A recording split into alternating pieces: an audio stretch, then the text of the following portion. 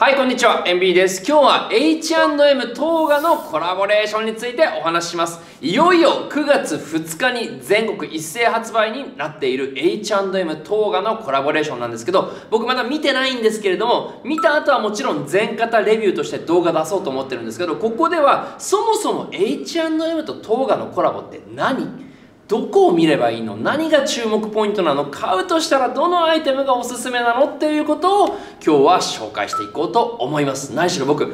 塔がめっちゃ好きなんですよ。はい、というわけで、トーガとのコラボレーションですね、9月2日発売の、えー、アイテムについて今日は話していきましょう。H&M のコラボ、まあ H&M とのコラボって結構いろんなブランドがやってるんですね。シャネルのデザイナーのカール・ラガーフェルトとのコラボレーションだったりとか、メゾン・マルジェラの創業者、マルタン・マルジェラとのコラボレーションも H&M はやりました。えー、コムデ・ギャルソンとのコラボレーションも2008年かなにやったと思います。で、トーガは、えー、日本ブランドとして H&M のコラボ相手に選ばれるのは2008年のギャルソン以来なので、えー、実に10年以上ぶりで H&M と日本のブランドがコラボ。まあトーガって日本のブランドって言っておきながら、まあ、海外でもかなり売れてるので、まあ、ギャルソンと一緒でどこが拠点なのかわからないような状態ではあるんですけれども一応日本人で日本のブランドなのでトーガと H&M の初コラボというのが今回ですね。まあユニクロって結構マス向けにどどうやってあのハイエンドのデザイナーズを一般の人たちに知ってもらうかっていう目線で展開するコラボレーションが多いと思います。例えばクリストフル・メール。今やってるユニクロ U とのコラユニクロ U のコラボレーションっていうのはまあ、本来エルメスのデザインとかラコステのデザインとかやってたもうトップオブトップのクリストフ・ルメールっていうデザイナーさんとユニクロが協業してシンプルで分かりやすいものそして上質なものを展開するっていうことでやってますよね。でジル・サンダーとユニクロのコラボレーションプラス J もジル・サンダーの持っているシルエットの構築というか構築の技術とかをユニクロの素材に当てはめて分かりやすくみんなが着やすいように展開するっていう形でやってます。デザイン服ももちろんユニクロのコラボって一部あるんですけれどもそんなにデザイン性を尖らせないで誰でもみんな着れるようにでも普通のユニクロのラインにはないちょっとだけ刺激のあるアイテムっていう風なものやってると思うんですけど H&M はそういうの全然考えないんですよ。H&M はむしろもう尖れるだけ尖ってもうブランド好きな人ぜひ買ってねみたいな感じのコラボレーションがすごく多いです。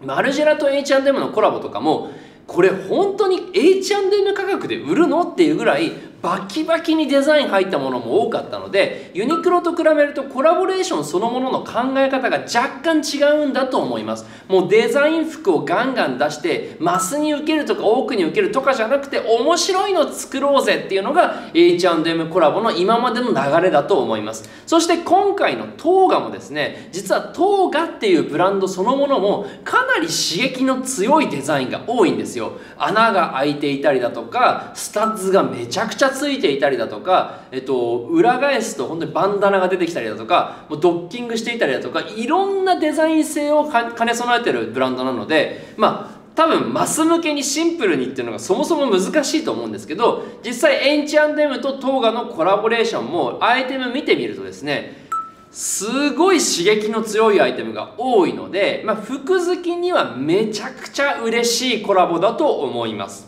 さてじゃあこの H&M トーガのコラボレーションなんですけれどもいくつかポイントに絞ってお話をさせていただこうと思います。まず1つ目着回しやすい服じゃない。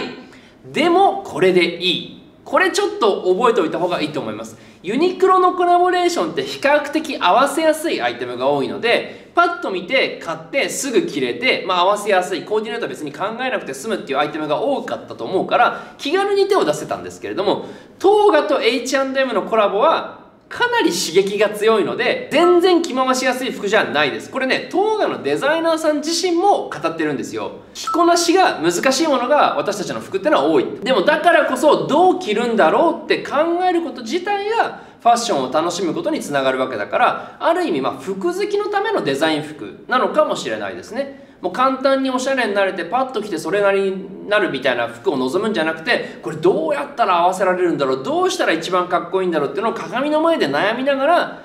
考えてそれ自体を楽しむ服っていうのが今回の当が H&M だと思うので、まあ、そういうことに全然興味ないっていう人はあの手出さない方がむしろいいかもしれないんですけどやっぱり服にある程度興味を持ってる人は相当楽しい服だと思います。穴が開いててレイヤードしやすかったりだとか他のブランドが出してないようなものを H&M 価格の安い金額で買えるのでかなり刺激のあるアイテムなのですごく面白いとは思いますね。今回のコラボレーションはトーガのアーカイブで見られるようなものを、まあ、昔やってたデザインとかを現代風にシルエットを直してリリースしてるものも結構多いので、まあ、得意のバンダナ柄だったりとかフォーマルをちょっと崩してる穴開けて崩すだったりとか、まあ、そういったことはまあトーガならではですね。まあ、大手とのコラボに H&M っていう大手とのコラボに臆することなく自分のブランドの色を出してきたトーガはさすがだなっていう感じではあります。ただやっぱり言いたいのは着回しやすい服じゃないっていうこと。なのでお洋服初心者さんだったりとかシンプルな服を揃えたいって考えてる人は今回のコラボは手を出す必要は全然ないと思います。逆に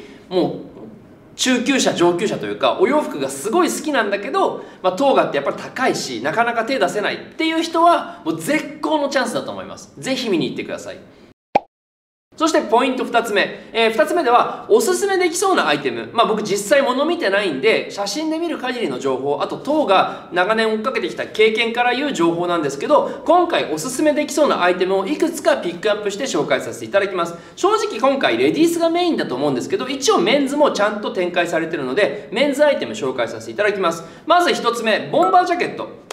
こちらはですね、まあ、いかにも唐辛子アイテムですね。MA1 で、えー、裏返すとバンダナ柄が出てくるリバーシブルのアイテムになってます。ただ、まあ、裏返すか裏返さないかっていうよりも、そのまま無地のタイプでもですね、これ背中に結構特徴があって、背中無数にタック、ひだがついてるんですね。なので、ちょっとレディースっぽいんですよ。レディースのブラウスとかあのワンピースとかって背中にこうぐーっとタックをつけてですね膨らみをつけてるものが多いんですけど、まあ、実際この MA1 ピンとこない人でも実際にこの MA1 見れば多分わかると思うんですけど背中のこのひだの膨らみによってちょっとレディーライトな印象があるんですね。女の子のシャツとか後ろ見てもらうとわかるんですけどこういうタックのひだがですね何重にも入ってるのがレディースのシャツの特徴なんですね。MA1 っていうメンズライクな男らしい男性性を象徴するようなミリタリーアイテムなんだけど背中をを向けるとワンピースとかで使われてるような無数のタックがついている。なので男性性の MA1 をちょっと女性性にあのディティールを入れてるっていう感じ。なので本来の MA1 とまたちょっと違う新しい価値が新しいデザイン性が見られるのが今回のトーガのコラボのアイテムだと思います、まあ、実際今年 MA1 かなりトレンドアイテムなので、まあ、ラフシモンズとプラダが、あのー、ラフシモンズ率いるプラダがですね MA1 めちゃめちゃ推してるので今年はかなりメンズシーン MA1 強くなると思うんですけど人気になると思うんですけどまあ MA1 何買おうかなって迷ってる人は今回のこの H&M とトーガのコラボレーションすごくいいと思います。程よく男性的じゃない後ろひっくり返すとちょっとこう女の子っぽいというかこの華奢な印象もあるので面白いアイテムなんじゃないかなというふうには思いますそして2つ目ブレザーとパンツえーと、ブレザーとウールのパンツですね。まあ、唐辛らしいちょっとデザイン性の高いアイテムですけれども、ブレザーは形綺麗そうですね。ただ、あの、ストラップがちょっと不思議な形になっていたりだとか、あとはパンツも穴が開いてるようなデザインになっています。えー、この穴が開いてるデザインっていうのは、トーガのデザイナーさん本人もインタビューで語ってるんですけれども、穴が開いてる服っていうとすぐパンク、パンクファッションを連想される方も多いと思うんですけど、今回のトーガのコラボレーションでやってる穴を開けるっていうのは、パンクから来てる、文脈が来てるわけではなくて、お洋服の新しい見せ方を模索する中で穴を開けてるというふうに明言しています。それは例えば服なんだけど服って当然今の僕もそうだけど服着ると肌が見えなくなるじゃないですか。でも穴を開けることで肌が見えるわけですね。つまり裸の美しさとお洋服着た時の美しさそれがハイブリッドに混ざっていくので普通のお洋服で肌を隠してる状態にはない新しい価値が生まれたりするわけですね。